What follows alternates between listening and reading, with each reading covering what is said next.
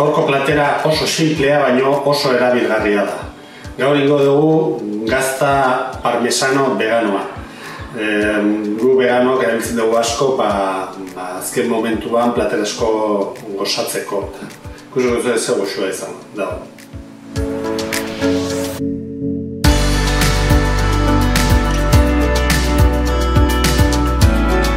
Bueno, lehenko goza ingo dugu izangoa, sesamoa xigortu.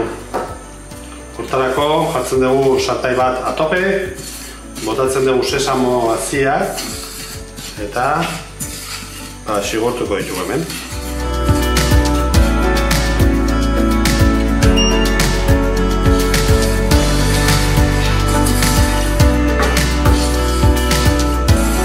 Horrela, sakonduko dugu sesamoaren usaina baita zaporea ere. Estan daiten dute e, sesamoen naziak mm, xigortzen delako.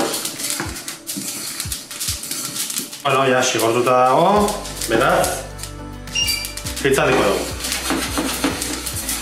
Bueno, orain, egingo, egingo duna da dena txikitu, egotuko dena. Hortarako botatzen dugu gatza, Garagardo legamia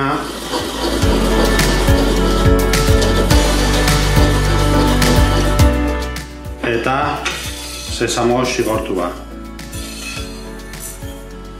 Batidora batekin edo robot batekin ere indezakegu, eh? Nire gutxi daukadan ez hemen, ba, goetona.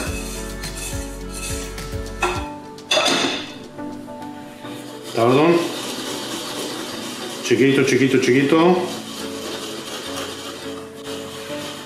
Horrela jarraituko dugu bos bat minutu. Eta hau da, emaitza.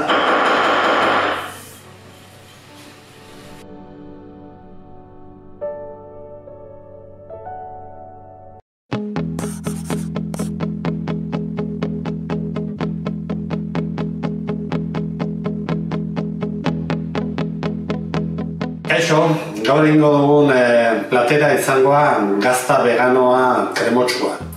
E, guk erabiltzen dugu ba, gozaltzeko, ba, zabalduta hobitan edo ezakite, platera askotan e, botatzeko.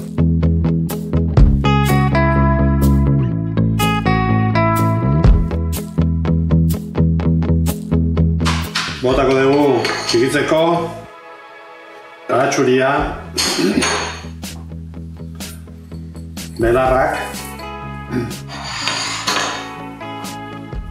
Garagardo legamia. Gatza.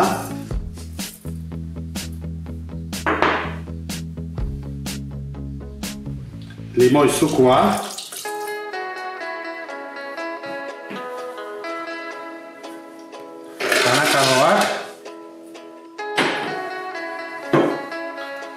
Eta hor pixkat, gero ikusiko dugu, ea gehiago behar dugun, ala ez, hola.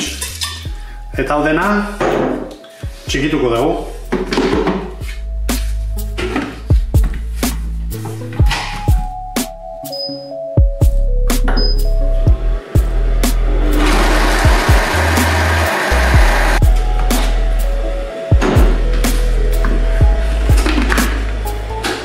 Etxiko dugu, dena,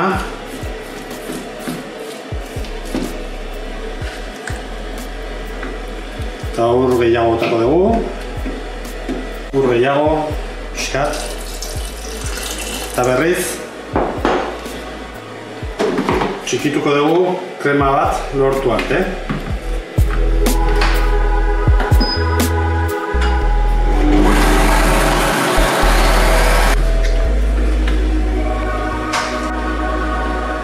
Eta orain ja aurkeztuko dugu